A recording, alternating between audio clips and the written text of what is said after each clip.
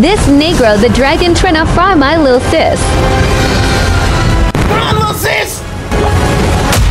Oh Lord, she fell? Why does every white female fall down in a movie when she runs? Get up, sis!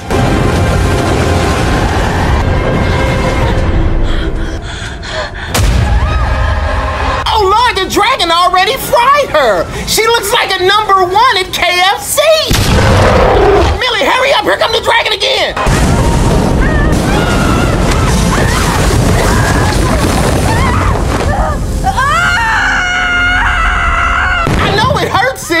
But you gotta shut the hell up!